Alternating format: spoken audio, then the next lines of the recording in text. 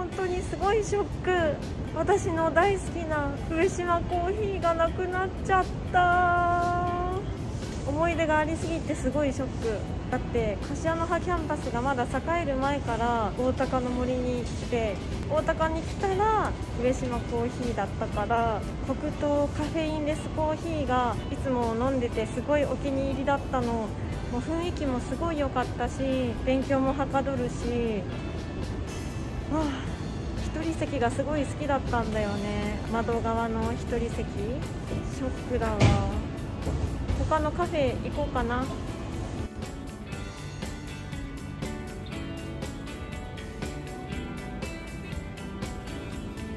暑いね。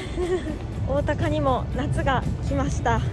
今ねフラップスに向かってます。